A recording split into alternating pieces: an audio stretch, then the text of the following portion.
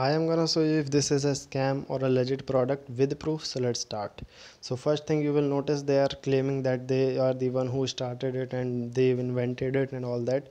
But let me show you some other websites. So this is heater pro x. They are also selling same product you can see. This is the same product. And this is there is another website called insta heat they are also selling the same product. And you will see there are other uh, porta heat and this is another one more ultra heat pro.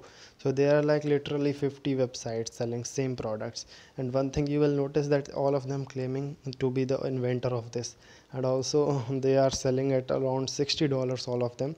But let me show you on the alibaba you will find it for six and a half dollars. And most importantly they will give you 10 pieces but you will buy only one piece for 60 dollars. So that's how they are scamming you Check out this video by Computer Clan for more detail how this will not work and a scam. And please support me by using thanks button for saving people from scam.